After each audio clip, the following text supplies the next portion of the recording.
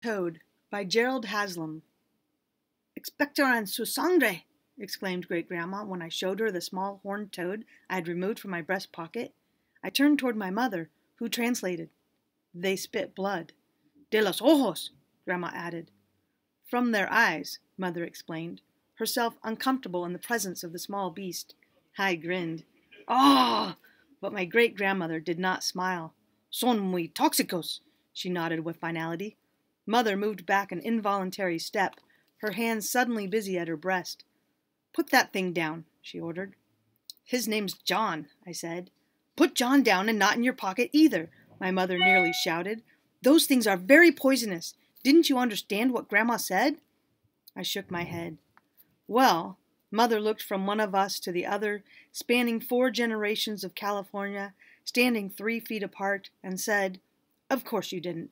Please Take him back where you got him and be careful. We'll all feel better when you do. The tone of her voice told me that the discussion had ended, so I realized, so I released the little reptile where I'd captured him. During those years in Oildale, the mid 1940s, I needed only to walk across the street to find a patch of virgin desert. No neighborhood kids called it simply the vacant lot. Less than an acre without houses or sidewalks. Not that we were desperate for desert then, since we could we could walk into its scorched skin a mere half mile west, north, and east. To the south, incongruously, flowed the icy Kern River, fresh from the Sierras and surrounded by riparian forest.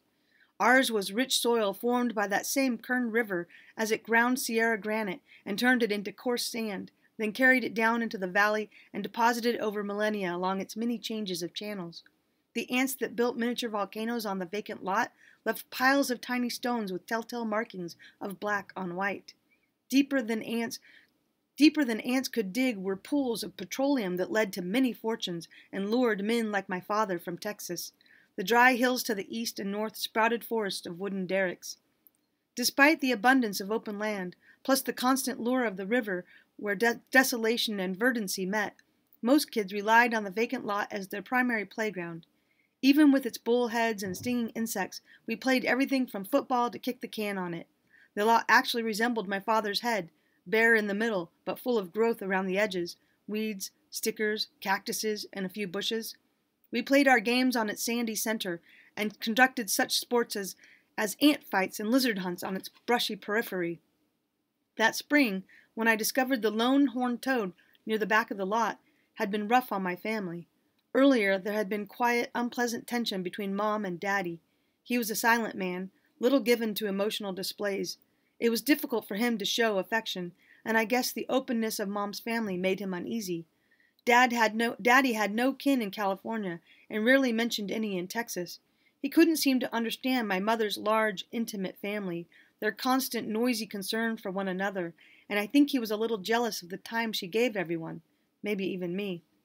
I heard her talking on the phone to my various aunts and uncles, usually in Spanish, even though I couldn't understand.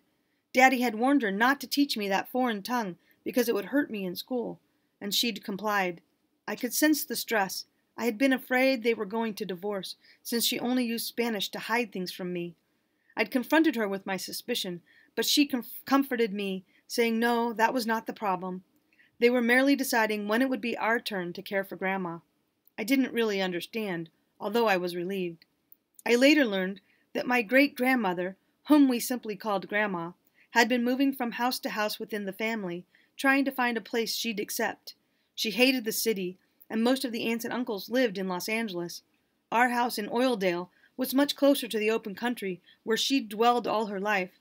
She had wanted to come to our place right away because she had raised my mother from a baby when my own grandmother died but the old lady seemed unimpressed with Daddy, whom she called ese gringo. In truth, we had more room, and my dad made more money in the oil patch than almost anyone else in the family. Since my mother was the closest to Grandma, our place was the logical one for her.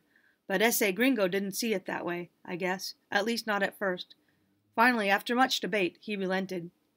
In any case, one windy afternoon, my Uncle Manuel and Aunt Tony drove up and deposited four and a half feet of bewigged, bejeweled Spanish Spitfire, a square, pale face topped by a tightly curled black wig that hid a bald head, her hair having been lost to typhoid nearly sixty years before, her small white hands veined with rivers of blue.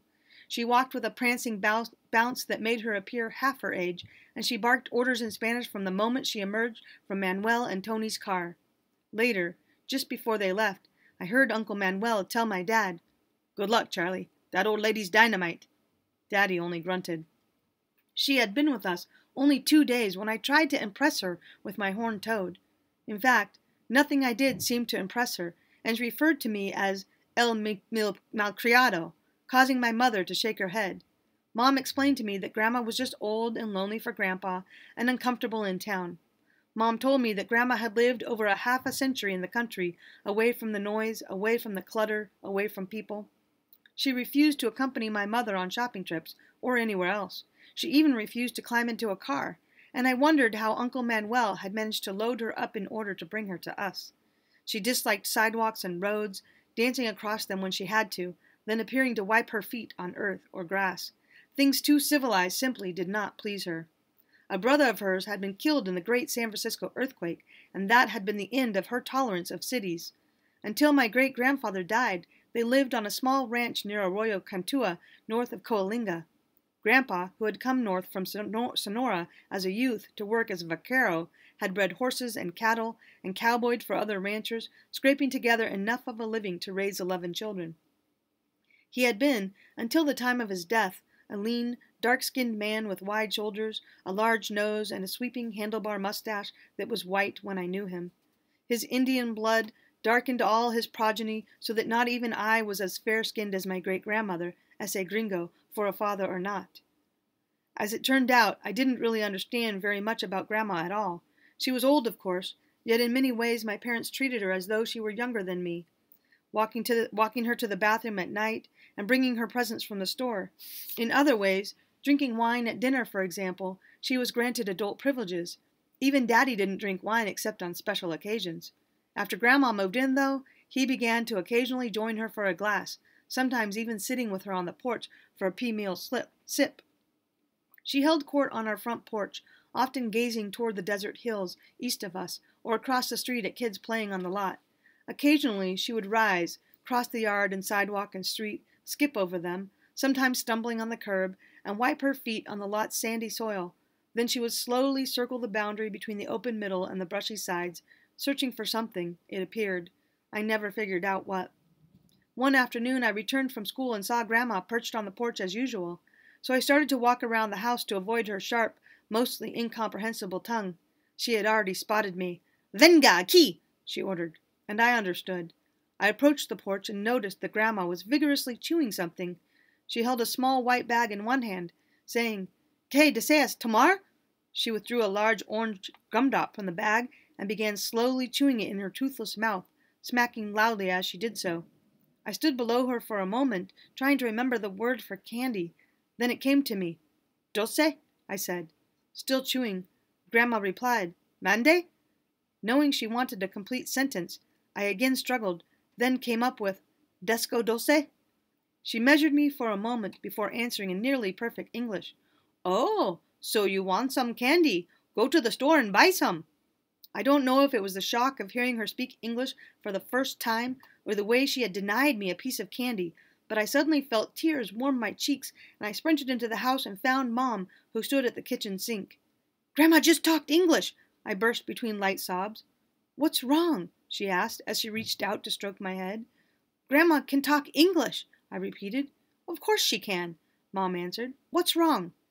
I wasn't sure what was wrong, but after considering, I told Mom that Grandma had teased me.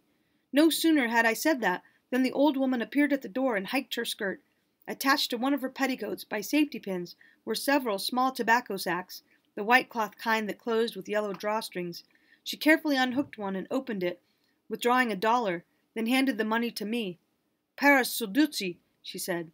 Then to my mother she asked, Why does he bawl like a motherless calf? It's nothing, mother replied.